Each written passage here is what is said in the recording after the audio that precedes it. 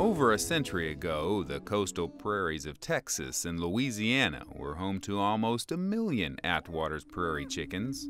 But as habitat turned to farmland and Houston and other cities grew, the coastal prairie shrank. Now less than 1% of pristine coastal prairie is left, and this refuge is one of the Attwater's last strongholds. It's been teetering right on the, the brink of extinction.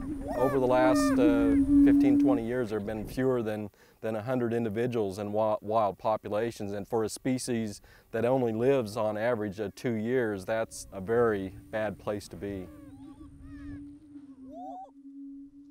You know, there are endangered species all over the rest of the country and the world, but this one here lives only in Texas, and it's part of the natural heritage of, of Texans.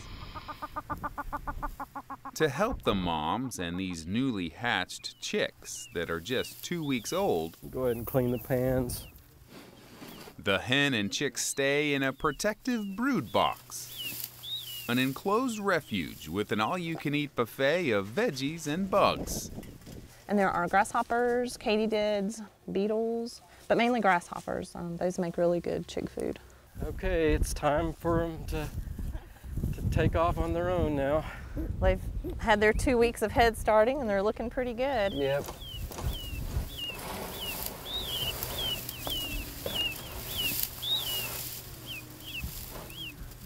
It's fun to see every couple days they change and they get noticeably bigger, their feathers get more um, obvious and colorful. They've gained weight, they're looking healthy. Hopefully they'll have what it takes to survive.